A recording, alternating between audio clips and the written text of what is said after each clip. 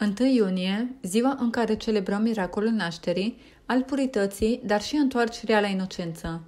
1 iunie, ziua copilului, ne duce cu gândul la voi, dragii noștri, David, Naomi, Estera, Natalia, Ruben, Albert și Lea. Ați fost smulși cu forța din brațele părinților și duși departe de casă, despărțiți forțat de frații și surorile voastre, separați de colegii de școală, de prietenii voștri, rupți de visele voastre. V-a fost luat dreptul de a vorbi limba maternă, libertatea de a crește în familia voastră. Astăzi nu mai puteți participa la activitățile care altădată v-au adus atâta bucurie și împlinire. David, Naomi, vă iubim și suntem alături de voi.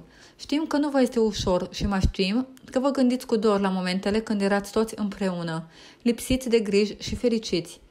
Estera și Natalia, Casa părintească este din nou plină de bucurie și speranță odată cu revenirea voastră.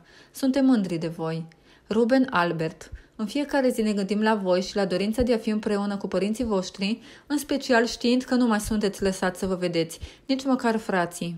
Este incredibil de nedrept că niște oficiali ai Jugendamt să decidă o asemenea măsură împotriva voastră. Nu renunțați să credeți că acest coșmar va avea un sfârșit. Dragă Lea, ne este atât de dor de tine și de zâmbetul tău plin de culoare inocenței pe care îl aduci atunci când te joci cu părinții tăi Petru și Camelia. Această imagine descrie fericirea.